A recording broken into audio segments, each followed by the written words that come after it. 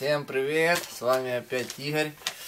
Сегодня попробуем оценить, посчитать в цифрах, оценить, какое же отопление лучше, эффективнее и дешевле, электрокотел или тепловой насос. Ну, вообще-то, для меня это не вопрос. Ну, тут вообще для меня никакого вопроса нет, но заметил э, так гуляючи по ютубу и смотрю там всякие видео про отопление, какие-то интересные решения ищу, заметил, что люди так, для людей это вопрос. Да, это действительно вопрос. Вот, э, какое отопление лучше. Там вот тоже на одном канале я переписывался с одним хозяином канала. Он сделал теплые полы и сам сделал э, электрокотел, самодельный электрокотел. Там вставил в него 3 э, тена по 5 киловатт.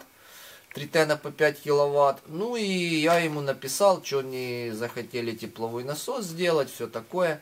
О, он мне написал, что это дорого. Да. Что это дорого. Ну, 3 тена по 5 киловатт, наверное, выйдут ему дешевле, да. Вот. Ну вот сейчас попробуем разобраться какое же отопление, ну, э, дешевле. Ну, что действительно для человека может быть не совсем понятно, когда он, вот, например, э, заходит в магазин, смотрит там электрокотел 2-3 тысячи гривен, ну, примерно, я там точно не знаю, сколько они стоят, но они недорогие. Тепловой насос 80-100 тысяч гривен. Ну, можно и дешевле найти. Я потом в конце видео расскажу про немного про украинские тепловые насосы. Есть такое производство уже. Они намного дешевле. Вот. Ну и, конечно, сразу вот так вот вот разница в цене, да, я лучше возьму электрокотел, даже если эффективность. Ну, мы сейчас посчитаем э, в последующие годы в эксплуатации, чем оно будет отличаться отопление электрокотлом и отопление тепловым насосом. Посчитаю я на своем случае собственном, не буду брать никакие другие случаи. Вот, э, свой, свой дом, сколько он потребляет. Итак, мой тепловой насос, э, я уже так прикинул примерно, потребит за отопительный сезон примерно 1000 киловатт-часов. Ну, я там немного больше надбавил, хотя он меньше потребит, потому что у меня еще, кто не знает, там у меня еще есть солнечные панели, они тоже неплохо помогали в октябре. Вот, поддерживали температуру в, дому, в доме, грели бойлер. Вот, и дальше тоже после Нового года они будут неплохо помогать. Плюс у меня еще добавился коллектор солнечный, который тоже я рассчитываю будет помогать. Поэтому, вот, ну, ладно, допустим, нет у меня ничего, есть только тепловой насос. Поэтому я посчитал по максимуму. Э, это около 1000 киловатт-часов сожрет мой тепловой насос за отопительный период, за отопительный сезон. Это там 6 месяцев, допустим, да. Итак, из этих 1000 киловатт-часов э, э, я э, у меня стоит двухтарифный счетчик, кто не видел, смотрите, там у меня видео есть. Э, получается у меня пользовать тепловой насос, включать примерно 50 на 50. Хотя Ночной тариф он у нас э, получается с 11 до 7 утра, это только 8 часов, это треть суток, третья часть суток. Но я стараюсь так, чтобы включать половину времени ночью по ночному тарифу, чтобы дешевле было, и половину времени днем по дневному тарифу. Там, э, ну, не получается даже с теплоаккумулятором включать его только по ночному тарифу. Но это отдельное видео, я отдельно сниму видео, расскажу почему. Вот, э, получается так, э, если разделить эту 1000 киловатт-часов на пополам, по 500 киловатт-часов я потребляю по ночному тарифу и по дневному, у меня выходит по дневному тарифу 840 гривен, по ночному тарифу 450 гривен. Вот. Ну там два раза дешевле ночной тариф. То есть за отопительный период 6 месяцев я сожгу электроэнергии на 1290 гривен. Это по сегодняшним ценам. Это на конец 2020 года. Вот, потому что скоро, я так понял, электроэнергия подорожает. Там уже ведутся разговоры. Вроде бы, ну это слух такой, я еще не уверен. Но вроде что-то по 2,70 хотят сделать. Но это вообще будет капец. Так, 1290 гривен, да? Я сожгу э, на отопление своего дома за отопительный сезон тепловым насосом. Это по максимуму я взял. Дальше. Если бы я топил электрокотлом, вот это, э, то есть у меня эффективность теплового насоса примерно около 5. Это значит, что 1000 киловатт-часов он съел для того, чтобы перекачать с земли мне в дом 5000 киловатт-часов. То есть вот это вот реальная цифра, сколько у меня э, в киловатт-часах уходит на отопление моего дома за зиму. 5000 киловатт-часов. Вот, теперь, вот столько съел бы электрокотел, если бы я топил электрокотлом. То есть, количество тепла будет одинаковое, что съел 1000 киловатт-часов тепловой насос и произвел 5000, что электрокотел 5000. Понятно, да, выразился? 5000 киловатт-часов. Если считаем вот этот вот, у меня э, там есть, правда, тариф для отопления, но я его не сделал. Там такой геморрой с этим тарифом для отопления. Короче, я просто поставил двухзонный счетчик и считаю вот как у меня есть на сегодняшний день. Итак, э, эти 5000 киловатт-часов, опять же, разделить на две части. То есть можно потреблять ну, электрокотел бы, да, включался бы там ночью половину времени и днем половину времени.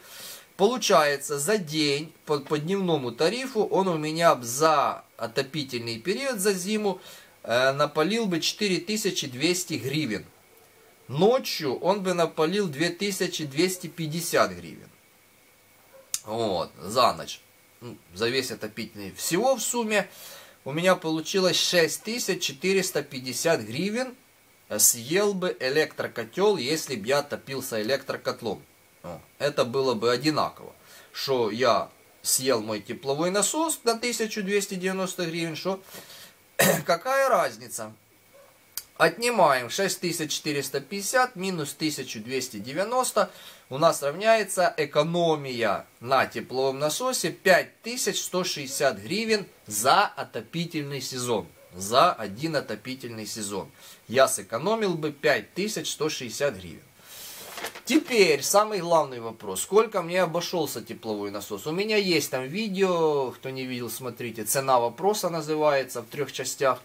Вот. Но я сейчас уже даже и не помню, что-то или 16 тысяч, или 17. Но хочу сказать, что у меня там было много, так сказать, лишних расходов можно было бы реально сэкономить э, довольно много на том, чтобы не покупать инструмент для сборки теплового насоса, не покупать фреон, бо что я купил целый баллон фреона 11 килограммовый, он у меня там еще остаток стоит, еще можно заправить, заправить раза 3 или 4 мой тепловой насос этим фреоном. Не покупать вакууматор, например. Вот это все можно было не покупать, поэтому я советую, если вы думаете сделать тепловой насос, просто соберите, соберите все части, компрессор, медную трубу, там просуньте ее э, в эту, в полиэтиленку, там все-все комплектующее, позовите холодильщика или кондиционерщика, у него все это есть, инструмент, фреон, вакууматор, он вам все это спаяет за 2 часа буквально. Буквально за 2 часа он вам все это до купы сложит, спаяет, заправит, вот вакуумирует, настроит, ну, пускай 3 часа, пускай 3 часа. И все, и вам не надо будет, ну, у меня он просто сейчас лежит, этот инструмент для вальцовки, все. Вот, если так считать, то он еще дешевле. Получается самодельный, ну, это отнять еще 1004-5 как минимум, это, это лишний фреон, вакууматор, инструмент у меня остался, я же говорю. Это, ну, примерно, пускай 1012 обойдется самодельный тепловой насос, если заказать услуги холодильщика, он все спаяет.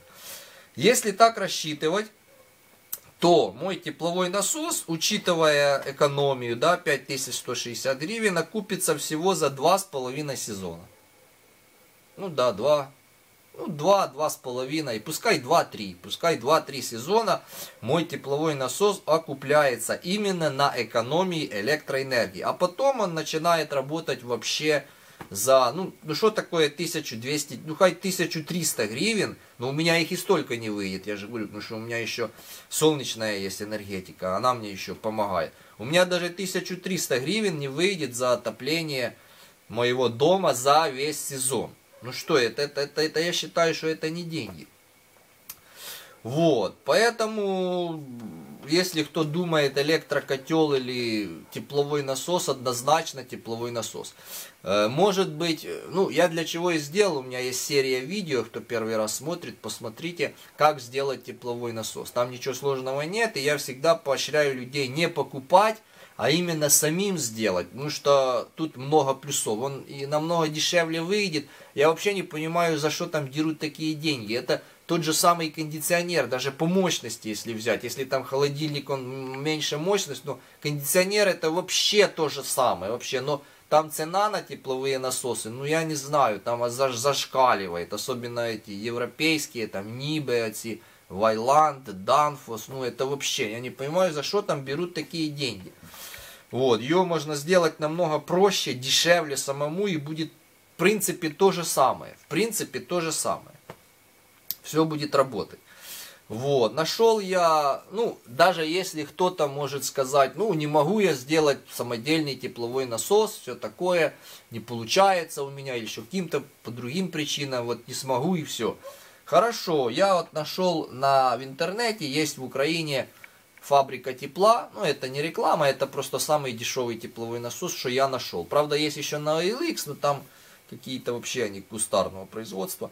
А это заводские украинские тепловые насосы, фабрика тепла называется. Марка Сенсо или как там, да, Сенсо. Вот, на 60 квадратных метров модель есть 33 тысячи гривен. Вот. Ну, я не знаю, можно и дешевле найти, может быть, я не знаю. Но это наш украинский, я думаю, дешевле. Э, там практически все то же, что у меня, только еще компрессор даже еще слабее. Там от семерки кондиционера компрессор стоит, а у меня от девятки, у меня немножко мощнее. Вот, и там пластинчатые теплообменники, красивая коробочка металлическая, там термометры, регуляторы, циркуляционный насос, все внутри есть, только подключай наружный контур, воду, внутреннее отопление и все, и грейся. Он стоит 33 тысячи гривен. Вот такой вот тепловой насосик. Даже если посчитать, что вот купить за 30 тысяч гривен тепловой насос заводской, и э, вот эта экономия, да, 5160 гривен, то он у нас получается окупится за 6 лет. Да, почти за 6 лет у нас покупится даже заводской тепловой насос. А после 6 лет он уже будет работать вам э, намного, ну, как я уже сказал, в разы, в разы дешевле. Даже я считаю, что это даже для заводского теплового насоса это немного. Хотя лучше, конечно, сделать самодельно. Я не знаю, за что там 30 тысяч. 33 берут, если там практически все то, что у меня. Это по комплектующим там даже 10 тысяч ну, десятка может и наберется, да. Тысяч десять может и наберется по комплектующим. А тут 30. Ну, видите, разница. Поэтому я говорю, лучше сделать самому. Это намного будет дешевле. Еще я вам хочу показать тоже табличку. Тут же на сайте. Э, где вот эти вот тепловые насосы. Ну, это э, затраты на отопление разными видами топлива. Сейчас попробую настроить ее эту табличку и показать вам. Ага, вот, видно, да? Вот, вид топлива, тепловой насос, природный газ, электроэнергия и твердотопливный котел, пилеты. Вот, затраты топлива за час, коэффициент использования 0,8, но я так и не понял, что это за коэффициент использования. Затраты топлива за месяц, ну это в кубах, киловаттах стоимость за месяц в гривнах. Вот видите, первая самая э, тепловой насос, верхняя. Вот, затраты топлива за месяц. Э, стоимость за месяц в гривнах. Стоимость за отопительный период 7 месяцев в гривнах. Вот, видите, да? Самое дешевле 2500 гривен. Все остальное 9, 9, 7. 7 это твердотопливный котел. Ну там еще, якщо 7 тысяч, то там еще геморроя тысяч на 10 будет носить эти все пилеты, дрова. И при наличии отопительного двухзонного счетчика там вообще 2000, видите, получается. Вот. Ну, примерно мои расчеты, примерно. Тут немного больше. Вот, вот получается, видите. Самое дешевое отопление, вот я не зря даже э, это... Правда, тут еще э, вот эта табличка, она тут э, рассчитана по специальному тарифу. И это за 17 год. Может, я не помню, там, наверное, дешевле. А, по 90 копеек. А, ну, такая, сама, такая самая цена, как и сейчас, в принципе. Это специальный тариф на отопление до 3000 киловатт в месяц, 90 копеек. Вот. Пожалуйста. О, тепловой насос. Видите? Две, даже 2000 при наличии двухзонного счетчика у вас выходит за отопительный период. 2500 это без двухзонного. Двух... Вот, так что это действительно самое дешевое отопление. Самое дешевое отопление. Ладненько. В следующем видео э, покажу уже, как я сделал, э, усилил свой солнечный трекер, чтобы он не шатался. Ну, что там немного писало, что писали мои зрители, что надо усиливать. Я его усилил. Покажу, как усилил. Вот, и еще там у меня будут интересные видео по отоплению. Ладненько, всем пока. До следующих видео.